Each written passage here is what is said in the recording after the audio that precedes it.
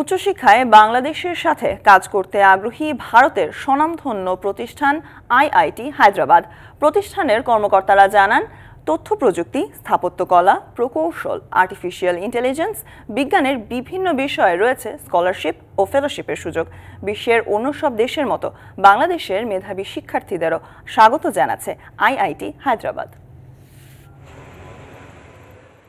শৈশব থেকেই প্রকৌশলী হওয়ার স্বপ্ন দেখতেন চাঁদপুরের আবুল হাসানাত। ওয়ালটন ফ্রিজ কিনে পেতে পারেন দুইশো পার্সেন্ট পর্যন্ত ক্যাশ ভাউচার।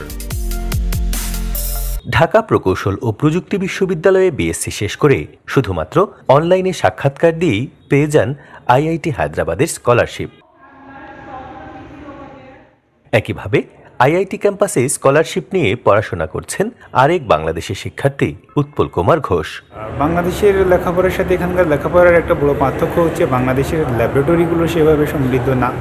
টিচাররাও সেভাবে পিএইচডি পোস্টডক সায়েন্টিস্ট লেভেলের না। এখানকার সব টিচারই সায়েন্টিস্ট লেভেলের আমি জিআরই এবং আইএলস কমপ্লিট করার আগে স্কলারশিপ পেয়ে গেছি। যতটুকু আমার ইংলিশ এক্সপার্টাইজ ছিল সেটাই এনাফ ছিল এখানকার জন্য।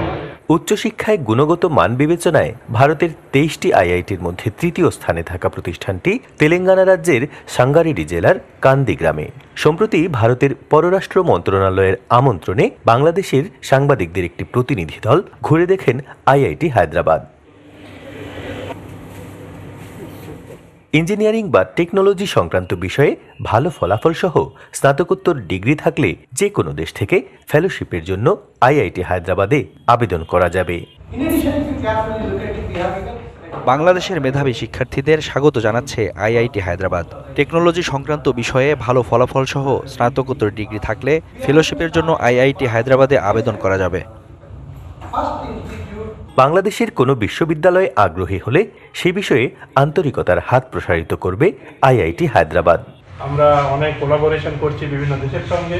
আমরা চাই যে বাংলাদেশ আমাদের একজন খুবই স্টুডেন্ট বাংলাদেশ থেকে ভারতে আসুক আইআইটি হায়দ্রাবাদে আসুক।